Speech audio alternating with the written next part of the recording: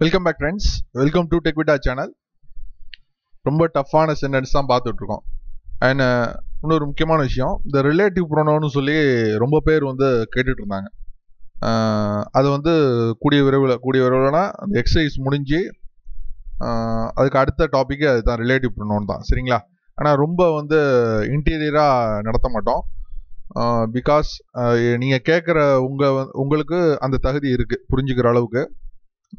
Beginners தான் நம்மளுடைய சேனலில் நிறைய பேர். ஸோ உங்களுக்கு அது பயன்பாடாக இருக்கும்.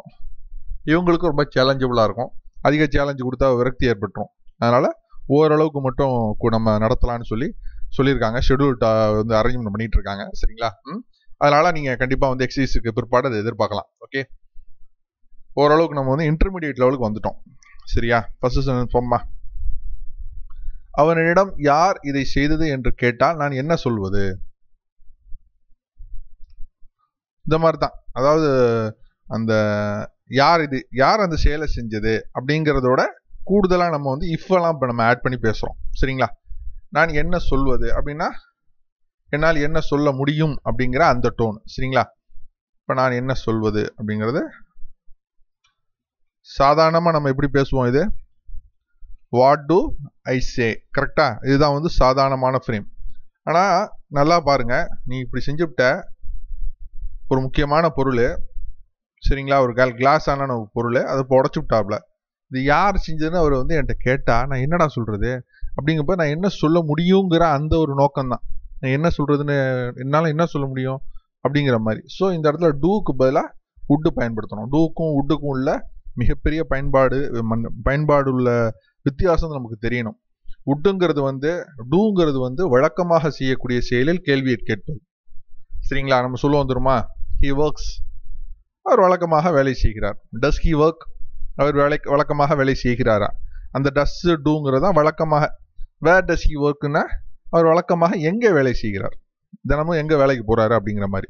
ஆனால் உட் அப்படி கிடையாது. வழக்கமான செயலே கிடையவே கிடையாது.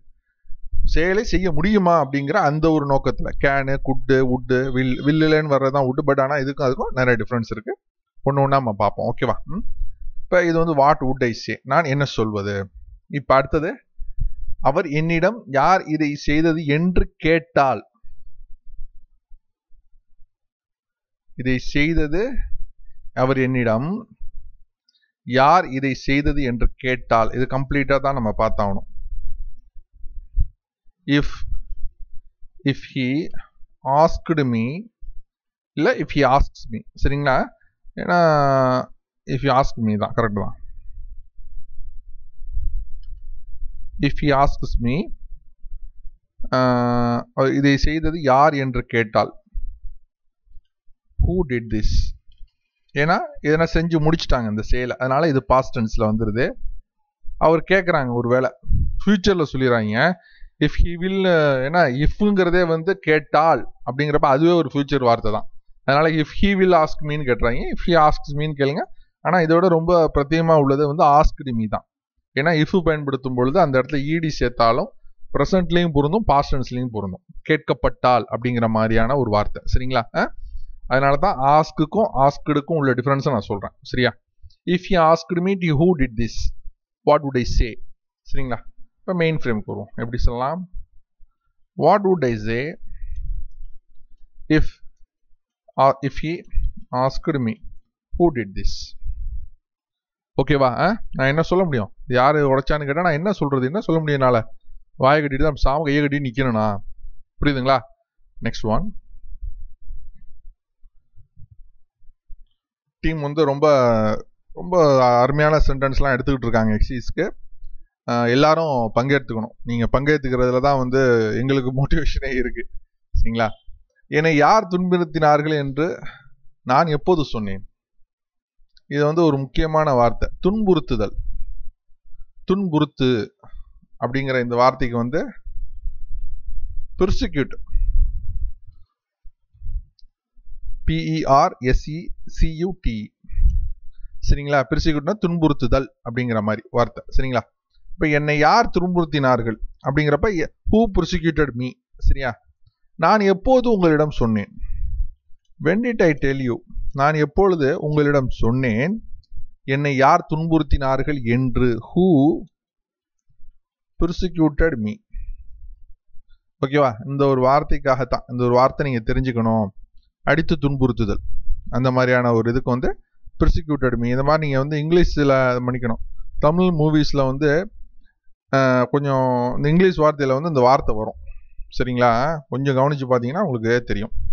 தென் நெக்ஸ்ட் ஒன்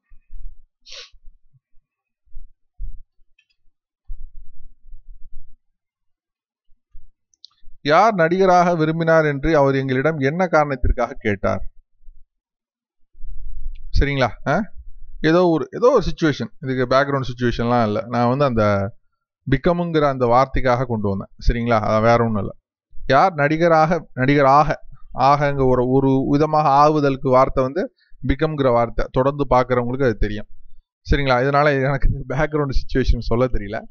யார் நடிகராக விரும்பினார் என்று அவர் எங்களிடம் என்ன காரணத்திற்காக கேட்டார்? இப்போ இது பிரச்சனை இல்லை. Who wanted to become an actor ஈஸியாக சொல்லிடலாம். ஸோ அவர் எங்களிடம் என்ன காரணத்திற்காக கேட்டார்? இதை பேசுவோமா? எப்படி சொல்கிறது என்ன காரணத்திற்காக?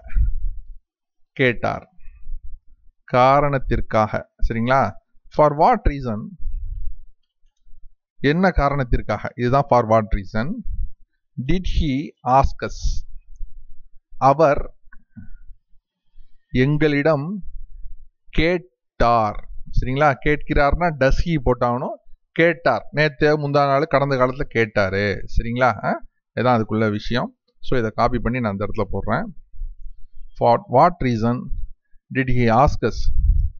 Who wanted to become an actor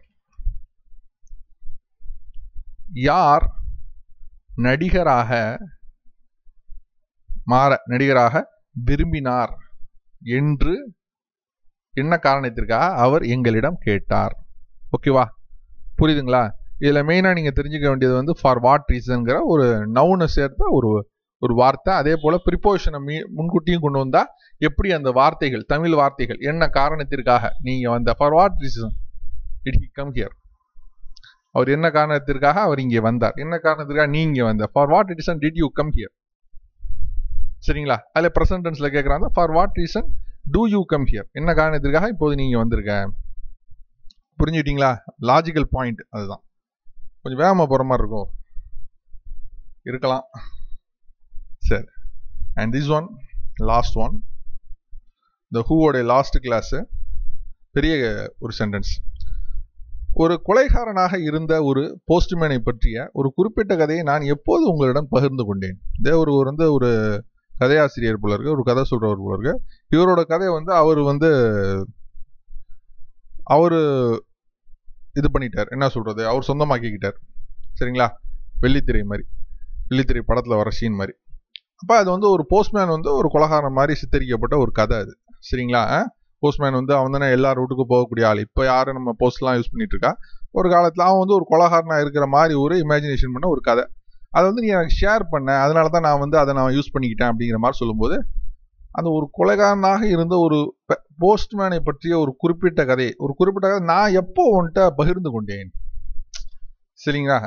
இதில் வந்து சென்டென்ஸை பாருங்கள் ஃபஸ்ட்டு நான் ஃப்ரேம் பண்ணுறேன் then you can understand okay when did i share you இதுக்கு என்ன அர்த்தம்? நான் எப்போது உங்களுடன் பகிர்ந்து கொண்டேன்? என்னத்த? ஒரு குறிப்பிட்ட கதையை எ பர்டிகுலர் ஸ்டோரி இது பத்தி ஒரு போஸ்ட்மேனை பற்றி. இது வந்து ரிலேட்டிவ் ப்ரொனோனுடைய இன்னொரு பகுதி இது particular story about a postman சரிங்களா? அந்த போஸ்ட்மேன் யாரு? ஒரு கொலைகாரனாக இருந்த. சரிங்களா? அந்த போஸ்ட்மேன் யாரு? ஒரு கொலைகாரனாக இருந்த ஒரு postman so who was a murderer ஓகேவா புரியுதா? When did share your particular story about a postman was a murderer இதெல்லாம் எல்லாத்துக்காக வந்து இவ்வளவு கஷ்டப்பட்டு நம்ம பேசுறோம்னா இது எல்லாமே ஒரே ஸ்ட்ரோக்கில் நம்ம சென்டென்ஸ் ஃபார்ம் ஆகணும் அப்படிங்கிற ஒரு காரணத்திற்காக தான் வேறு எந்த ஒரு காரணமும் இல்லை. நம்மளுடைய சென்டென்ஸ் வந்து ஒரே ஸ்ட்ரோக்கில் இருக்கணும் அப்படிங்கிறது தான் சரிங்களா? இப்போ வந்து இந்த ஹுவாஸ் எ மர்டரருங்கிறது வந்து இந்த இடத்துல வந்து அவர் கொலையாளியாக என்று அப்படிங்கிற பொருளே அல்ல. இதுக்கு பேர் தான் வந்து ரிலேட்டிவ் ப்ரொனவுன் இந்த நவுன் இருக்குல்ல? இந்த நவுனை வந்து ப்ரொஜெக்ட் பண்ணி பேசுறது தான் இந்த ஹுவாஸ் எ மர்டர் இந்த போஸ்ட்மேன் அந்த கொலை அந்த போஸ்ட்மேன் என்ன சொல்கிறது தபால் குவிக்க தபால் கொடுக்குறவர் அவர் ஒரு கொலையாளி. கொலைகாரன் அப்படிங்கிற மாதிரி ஒரு சென்டென்ஸ் சரிங்களா? ஓரளவுக்கு புரிஞ்சிருக்கும்னு நினைக்கிறேன்.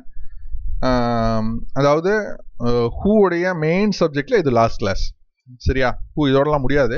நான் ரிலேட்டிவ் ப்ரோனோன்னு ஹூ மட்டும் கிடையாது. அதில் வந்து ஹூ இருக்குது விச் இருக்குது வெண்ணு இருக்குது வாட்டர் இருக்குது இந்த மாதிரி நிறையா இருக்குது என்னென்ன பொருள் என்னென்ன இடம் அப்படின்லாம் வரும்போது அதுக்கு தகுந்த மாதிரியான வார்த்தைகள்லாம் வரும். ஸோ அது வேற ஒரு ஆஸ்பெக்டில் நம்ம அதை பார்ப்போம். சரிங்களா? அதனால் ஹூவோடைய டேரெக்டான மீனிங்கில் உள்ள கிளாஸ் வந்து தற்பொழுதுக்கு முடியுது. நெக்ஸ்ட் கிளாஸு வந்து கண்டிப்பாக நாளைக்கு ஃபுல்லாக கம்ப்ளீட்டாக எக்ஸசைஸ் தான். சரிங்களா? மூணு செஷனுமே வந்து எக்ஸசைஸ் தான். Basic and intermediate and advance லெவலில் உள்ள மூணு சப்ஜெக்டையும் வந்து எடுத்திருக்காங்க.